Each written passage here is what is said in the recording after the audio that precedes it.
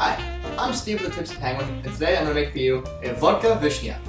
To start, we're going to take half a lime. We're going to add an ounce of our house-made cherry vanilla syrup.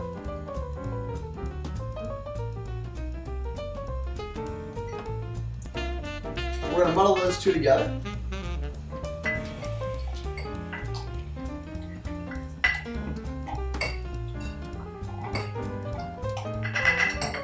And then we're going to add two ounces of our Wodka vodka.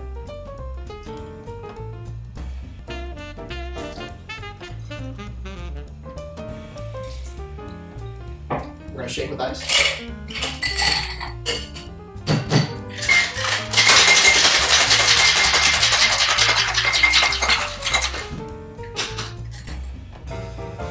And we're going to pour directly into our rocks glass.